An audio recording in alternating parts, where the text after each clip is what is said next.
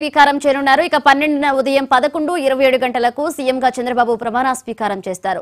ఈ సమావేశానికి ప్రధాని మోదీ కూడా హాజరవబోతున్నారు. ఎన్డీఏ కూటమి నేతలు తదితరులు హాజరు కాబోతున్నారు.